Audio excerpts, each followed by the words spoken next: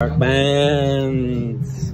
So what? Tell us about that story that I've been telling Oh. everybody when Uh, you're in Maui.